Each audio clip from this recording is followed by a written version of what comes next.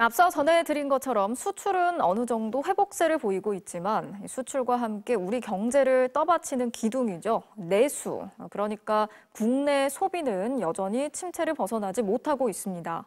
민간 소비가 큰 폭으로 줄면서 OECD 국가 평균의 7분의 1 수준에 머물렀는데 역시 가장 큰 원인은 높은 물가 때문이었습니다.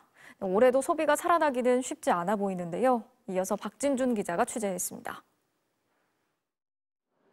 OECD가 발표한 지난해 3분기 국내 민간 소비 증가율은 0.2%, 작년 1분기 4% 넘는 증가율을 기록했지만 6개월 만에 거의 바닥으로 추락한 셈입니다.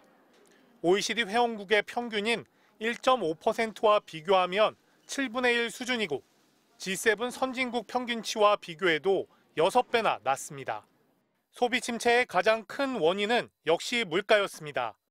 국내 물가는 재작년 평균 5% 넘게 오른 뒤 지난해 3.6%가 더 올랐습니다. 반면 지난해 실질 임금은 1% 줄었습니다. 버는 돈은 그대로인데 물가만 치솟다 보니 주머니 사정 뻔한 서민들은 지출을 줄일 수밖에 없습니다. 식재료비가 30%여야 되는데 지금은 식재료비가 40% 들어가요. 그러니까 계속 부담은 저희한테만 오는 거죠. 돈을 안 쓰는 건 산업 영역도 비슷합니다. 부동산 경기의 침체 속에 원자재 가격 등 공사비가 치솟으면서 작년 건설 수주액은 재작년보다 26%나 줄었습니다. IMF 외환 위기 직후였던 지난 1998년 이후 가장 큰 하락폭입니다. 일용직 근로자 중 건설업 종사자가 절반가량을 차지하는 만큼 체감 경기는 더욱 위축될 수밖에 없습니다. 지난해 1월부터 11월까지 설비 투자도 5.4%나 감소했습니다. 올해 상황도 크게 나아지긴 어려워 보입니다.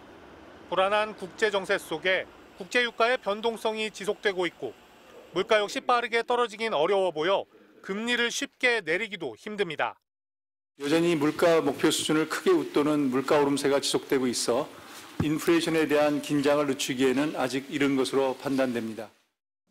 부진의 늪에 빠진 내수가 올해 경기 회복의 최대 변수가 될 것으로 보입니다. MBC 뉴스 박진준입니다.